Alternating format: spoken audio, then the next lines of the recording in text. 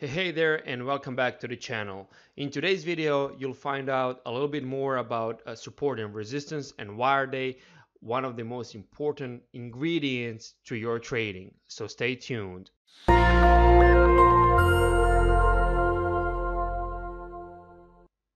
Alrighty, so I'm sure you heard it many times. Price is approaching to support. We can expect some kind of a bounce, some kind of market reaction on this support, or we might expect a breach of this support and maybe the price will find another support a little bit down.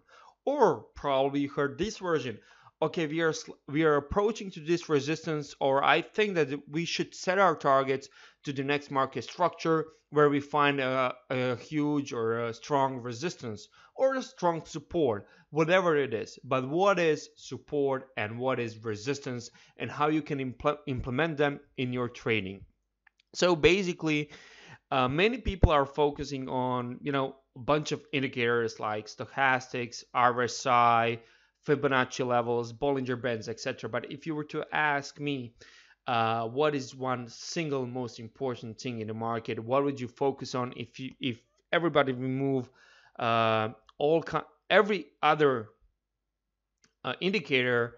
I would say it would be pure price action. That's why I'm trading naked charts plus support and resistance or a market structure because in my entire trading philosophy is based on the you know market structure and support and resistance. So and in essence those two are very simple. You know they they they are the levels within the market that the market is actually respecting. And why the market is respecting them? Because look market is just the prices are moving because market participants are making some kind of reactions okay and because a lot of people know about the principles of support and resistance, and a lot of people tend to look at them pretty similar, uh, that's why market respects them. Because if you draw a line on the chart, like I'm going to draw it right here, just just look at this, okay? So look at this cross crosshair here in front of my, my chart. On the left side, right there where my mouse is, uh, this line is actually respecting once. Then if you take a look here on the right side, what, what that's like 14, uh, 9th of November, and here is in May 2018, so five, six months after, this same price level is being respected okay so that's why because people saw this here saw that this is some kind of a market structure that people that price had made a stall here and they're expecting their price will make some kind of reaction here. And because that they're expecting this market actually react. So it's very simple. However uh, we have a support which is a price level where market approaches from uh, top side. Okay so if we draw a line here i'm going to draw a horizontal line like this. Uh, if we are coming, if the price approaches to this price level from above that price level, then we are calling this level a support.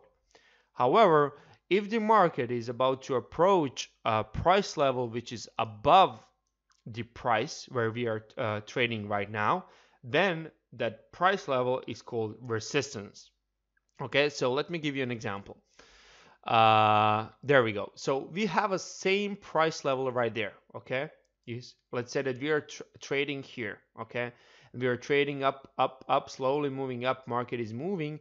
We are approaching to a resistance level because we are expecting some kind of a re resistance here that we won't be able to breach through that price level. Let's see what happens. Because we are trading, trading up, and we got that resistance. You see it?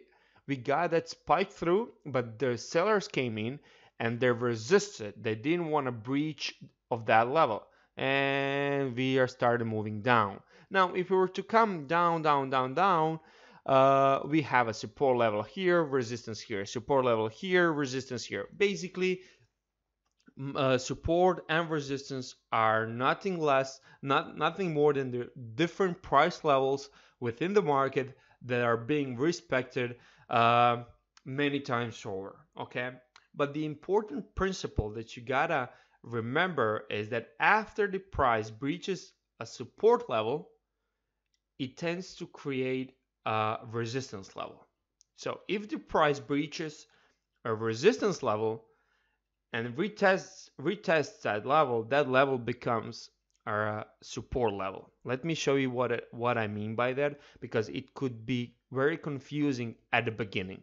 Okay, so let's let's stick to this price level here because we we saw the market we know it's going to be breached eventually. So this is actually our resistance level right now because we are approaching to that level from the from the downside okay?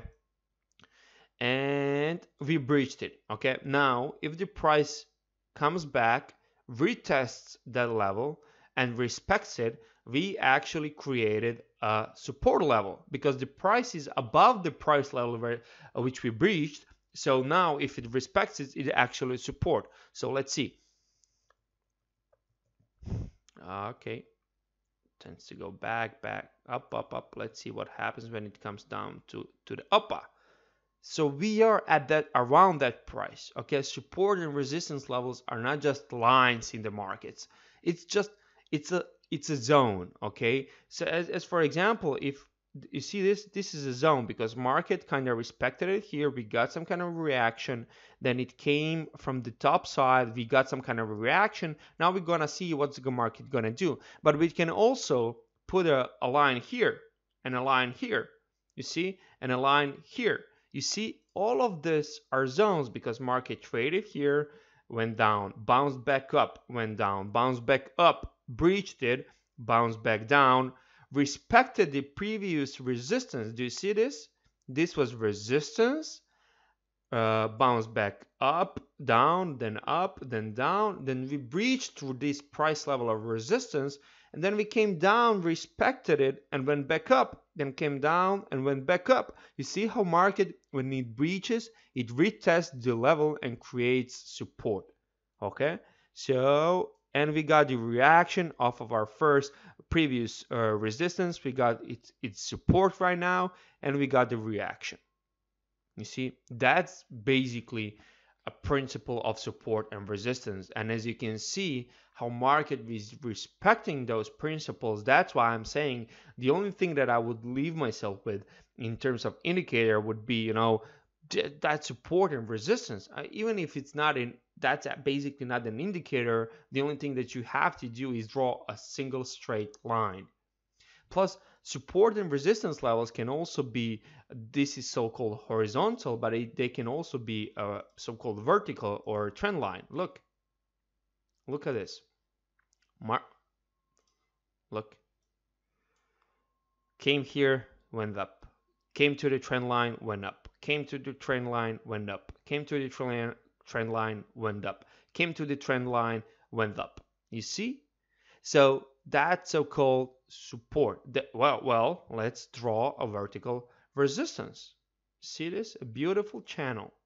And again, it's not exact science. It's more of an art because it's not like you, you will always be able to connect two dots and you have a perfect channel now it's breached. No, you have to look at uh, overall because sometimes the channels will be ugly you know and it, it it tends to be sometimes complicated because markets are not moving in a uh, very nice always. Look at this channel.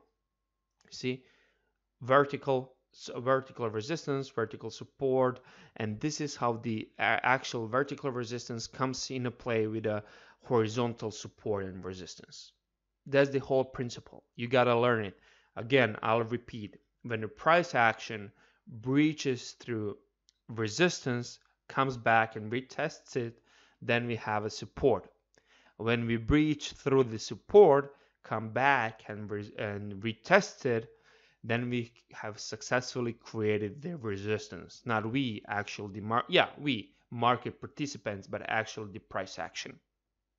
I hope that this whole thing about support and resistance kind of clicks with you because it's not that complicated. You just have to, you know, find these market structures, market reactions, and start drawing those lines to test how do you see your market levels and what are the important market levels for you for example for my coaches and for myself uh, what i do is i'm going to remove all drawing tools and when i want to see is it a strong support and st strong resistance I draw a line for this level right here and then I see did the market respect it at least three times? If it did then I say okay this is the strong uh, resistance or strong support.